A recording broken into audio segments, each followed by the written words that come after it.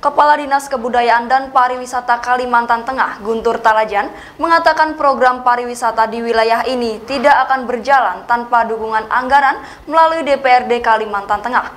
Karena itu, ia berharap dukungan anggaran dari DPRD dan instansi terkait yang selama ini sudah berjalan dengan baik terus ditingkatkan. Dalam materi yang disampaikan Kepala Dinas Kebudayaan dan Pariwisata Kalteng, Guntur Talajan, saat temu lembaga dan silaturahmi lembaga penyiaran tahun 2019 yang dilaksanakan KPD Kalteng kemarin di Swiss Bell Hotel Palangkaraya, Kalimantan Tengah atau Kalteng Berkas saat ini telah menuntaskan visi dan misi keenam yakni pendidikan, kesehatan, dan kepariwisataan. Dari data yang ada, jumlah kunjungan wisatawan per Agustus tahun 2019 terjadi peningkatan cukup signifikan, baik wisatawan lokal maupun mancanegara. Khusus untuk wisatawan mancanegara yang terbanyak daftar kunjungannya adalah di Taman Nasional Tanjung Punting Pangkalan Bun, Tuang Alas, dan Taman Nasional Sebangau dipaparkan Gutur Talajan kaitan dengan kepariwisataan di Kalteng ada tiga hal yang dilakukan pihaknya Tiga hal tersebut yakni atraksi yang menampilkan seni dan budaya, tari-tarian kearifan lokal, termasuk pakaian khas daerah, dan menu makanan tradisional yang selalu ditampilkan setiap ada event budaya, setiap ada tamu sehingga menjadi daya tarik tersendiri.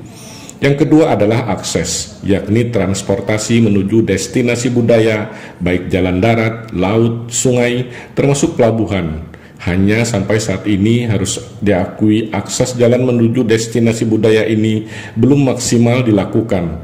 Sebagai contoh untuk menuju destinasi wisata yang terdekat seperti Nyaru Menteng misalnya, jalan daratnya masih banyak berlubang atau jalannya sempit.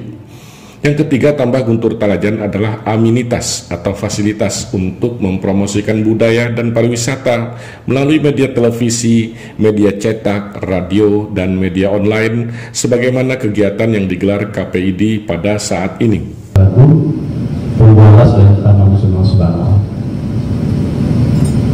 Bapak Ibu yang saya hormati, kaitan dengan KPID kami terima kasih ilmu tadi semoga bisa dilaksanakan nanti dukungan dari DPR Bapak Ibu yang saya hormati kaitan dengan ya, KPID kami terima kasih ilmu tadi semoga bisa dilaksanakan nanti dukungan dari DPR tanpa dukungan anggaran ya, program tidak bisa jalan.